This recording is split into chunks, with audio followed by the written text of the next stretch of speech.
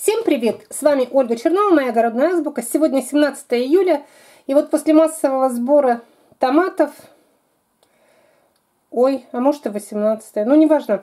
После массового сбора томатов продолжаются мои дегустации. Я уже рассказала про чудо земли, что это действительно вот тот самый, который мясистый, сахаристый биф-томат большого веса, очень хорошего вкуса, отличного. И теперь я сейчас буду дегустировать русские колокола.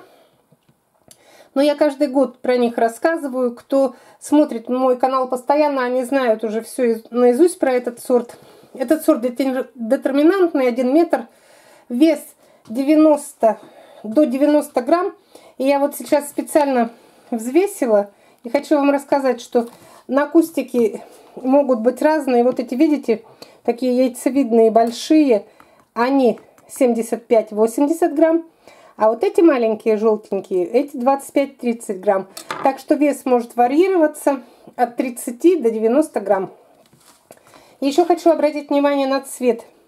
Видите разный оттенок. Вот это ярко-оранжевые, а вот эти, которые большие, они еще не совсем дозрели.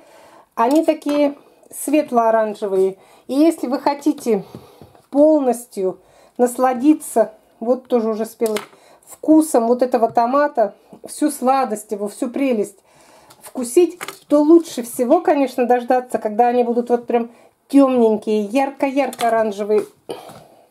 Вот смотрите, видите, вот это ярко-оранжевый, а вот этот оттенок чуть светлее.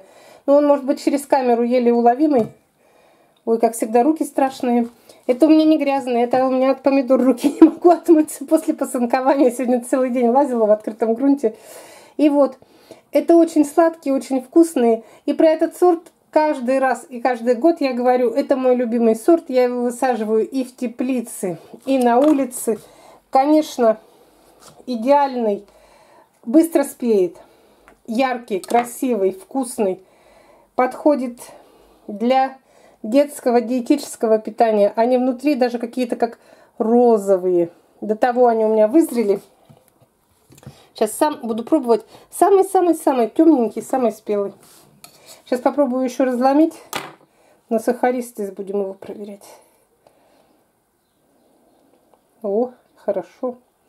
Несмотря на то, что... Несмотря на то, что этот сорт, он не очень крупный, смотрите, мякоть тоже арбузная, сахаристая. Вот когда вот такая сахаристая мякоть, это значит, что мало жидкости, мало влаги в плодике в этом и большое содержание сухих веществ. Вот эти томаты идеально подходят и для консервирования, для вяления, для запекания. Я вот с этих томатов прям сегодня же вот из всей этой оравы сейчас выпотрошу семена и буду делать томаты, запеченные по-провански. Я в прошлом году делала, мне так понравился этот рецепт, что я жду не дождусь, когда они у меня наконец-то ждала, поспеют, чтобы покушать томаты по-провански. Ну и все, больше рассказывать о нем нечего. Мякоть арбузная, сахаристая, на вкус сладкий, на вид красивый. Идеальный томат. Пожалуйста, деткам сами. Я уже говорила, что он для диетического питания, для тех, у кого там желудок больной, у него очень много витаминов в этом томате, именно в оранжевом цвете в пять раз больше бета-кератина, чем обычных.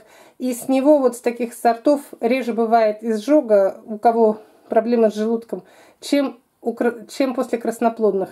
Все, вот это номер 35, русские колокола. По мне так идеальный томат. Он хоть и не крупноплодный, но у него очень много достоинств.